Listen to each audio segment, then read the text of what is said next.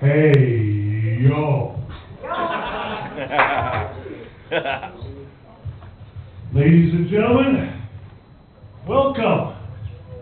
This evening we're having a tag, sorry, not a tag team, tournament that's going to crown the new TCW provincial champion.